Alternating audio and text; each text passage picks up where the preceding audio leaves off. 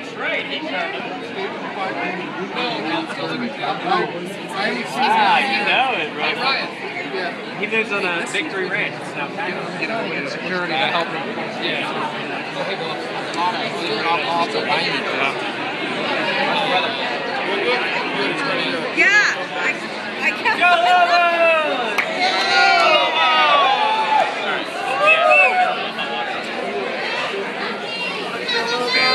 Any any doubt about the game today? Not a Win, win it all, right? Yep.